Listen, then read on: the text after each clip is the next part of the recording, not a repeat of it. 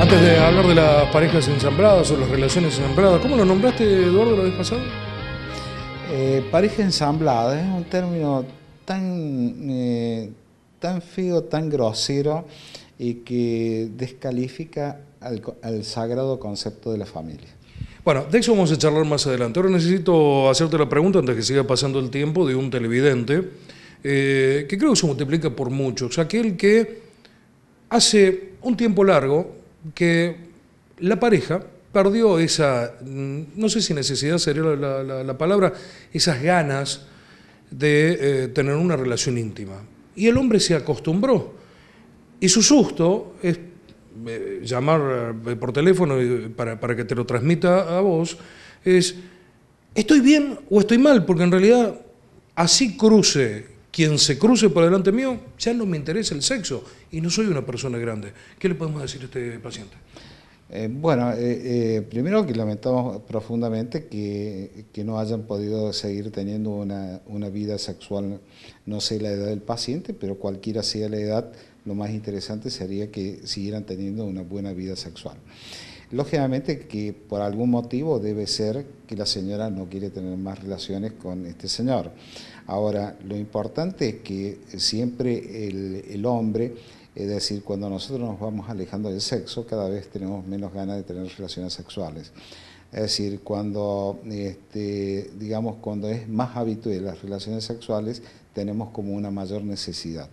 Es decir, el hombre se va adaptando al medio y lógicamente que esa adaptación de este señor que, eh, que habló del programa probablemente esté dado por, digamos, o porque no se le ha dado la oportunidad o porque realmente los niveles, digamos, del organismo han bajado sus deseos sexuales.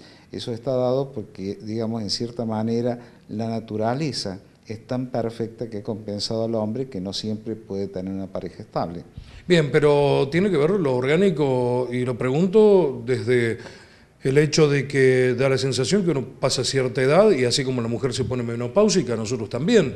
¿Los niveles eh, eh, químicos de nuestro cuerpo influyen sobre eso?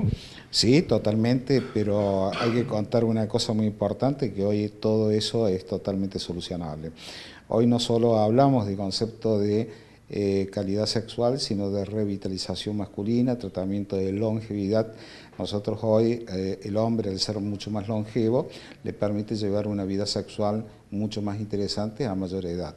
Eh, yo siempre recuerdo que hablar antes de una mujer de 50, incluso de 60 años, se hablaba con una mujer ya añosa, y hoy día una mujer de 50, 60 años es una mujer muy interesante.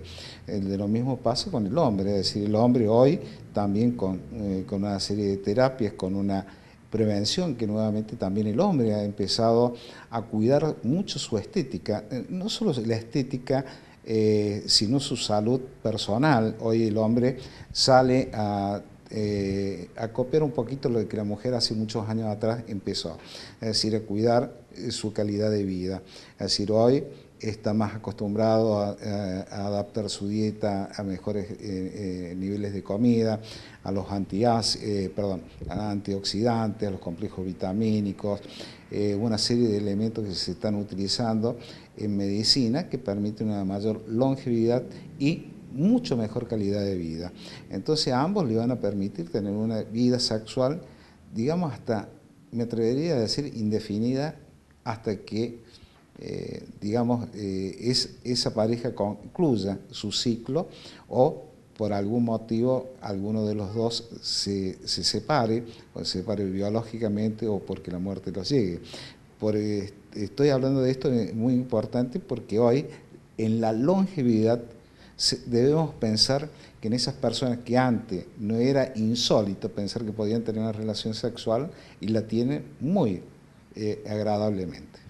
Vos que sos el especialista, ¿ser sexualmente activo para el hombre es estar erecto permanentemente? Por contrapartida, ¿la mujer ser sexualmente activa significa que lo esté buscando permanentemente el hombre o hay otras formas de sexualidad a partir de los cambios de edad? Eh, con los cambios de edad, eh, lógicamente que muchas veces la eh, fogosidad se va transformando en, otro tipo de, tipo de relación sexual, un poquito más, digamos, desacerada, pero digamos, que mantengan una, una, calidad sexual. Muchas veces no es la cuestión de número ni de cantidad, sino de la calidad sexual que se puede ofrecer de una persona a otra. Este, siempre, eh, en cualquier tipo de eh, matrimonio o pareja o lo que eh, hoy podamos definir como dos, dos personas que se amen, eh, lo importante es eh, incentivar ese fuego íntimamente, así poner cada día un poquito más, eh, una, digamos una leñita más a ese fuego para que siga encendido. Mientras esas personas puedan lograrlo, la sexualidad se puede hacer de distintas maneras. Y yo siempre ese gran ejemplo, lo, ese gran ejemplo lo, aprendí y lo sigo aprendiendo de muchas veces con el trabajo de los discapacitados que tienen muchas, eh, digamos, eh, muy pocos elementos con lo que lograr una buena, un buen sexo, pero con lo poco que tienen y con el amor que se tienen esas parejas pueden lograrlo totalmente.